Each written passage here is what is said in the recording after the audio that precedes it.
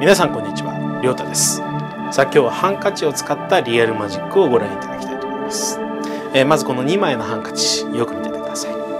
これを1本にして1回振るだけで見てください。結び目ができて完全に結ばれてしまいます。これがリアルマジックです。